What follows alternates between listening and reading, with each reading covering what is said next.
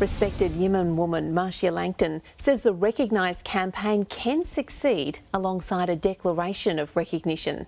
Professor Langton used the annual Lowitja O'Donoghue oration to warn an organised no campaign against recognition would doom the movement to failure. It comes as a key crossbench senator says the movement is likely not to succeed, even though he supports some of its ideas. It's becoming hard to keep up with the debate around changing Australia's constitution, with proposals, more counter proposals, and critics voicing their opinion.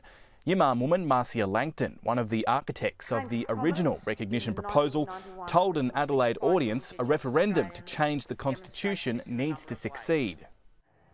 A negative vote would completely rule out any question of this being taken up again in our lifetimes those of us who have considered this matter would rather leave it to another generation rather than have a failure now. There are calls for the government to fund part of a no case, a formal opposition to complement its funding for Recognise.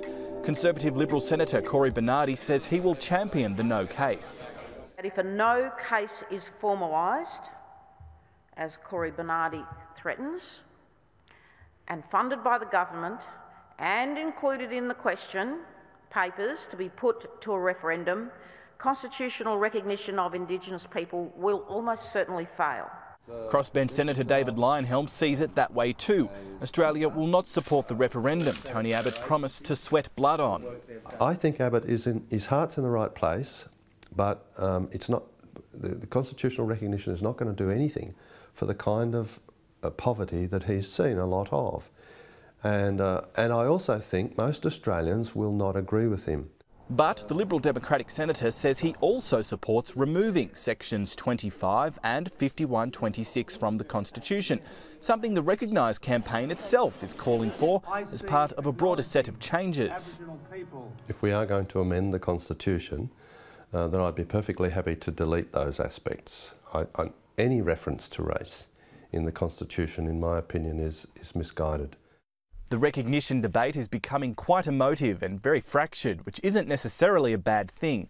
But the Prime Minister needs to give it a frame of reference at next month's referendum summit in Sydney. Otherwise, it'll just take on a logic of its own, where people argue for argument's sake.